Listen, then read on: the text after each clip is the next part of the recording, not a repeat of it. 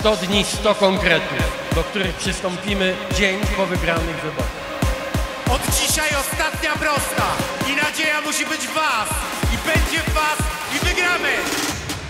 Polki i Polacy wynajęli was, mnie, do wygrania dla nich.